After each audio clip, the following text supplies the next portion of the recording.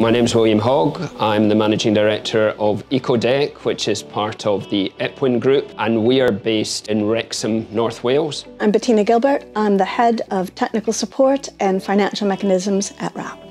So the supply chain trials were funded by the Welsh Government. They made them possible. In Wales, we're third best at recycling in the world. But what we need to do is find ways to use all those materials that we collect and recycle. So altogether, there's over 20 organisations taking part in the trials. It's a collaboration between the private sector, between the education sector, several of the universities in Wales, and then other technical specialists, and of course, WRAP and our team. The objective of this project was to get as much non-recyclable waste from coffee cups into our wood polymer composite product to prevent it from going into landfill.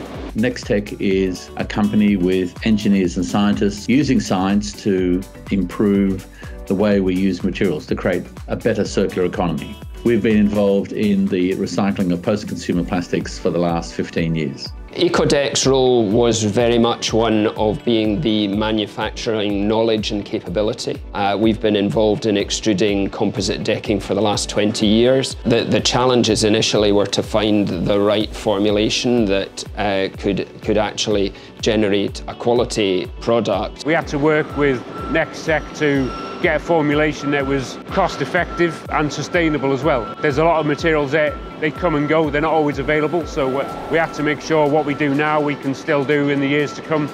We had to source uh, materials that were currently considered unrecyclable, but what we found was that we could actually create durable composites and these are, in fact, new materials that were, were being made from waste that could be recycled back into new products. We're uh, already using it for benches that are going into schools, uh, leisure facilities, so parks. The seating that you see in a bus shelter can now be uh, made of a, a recycled material.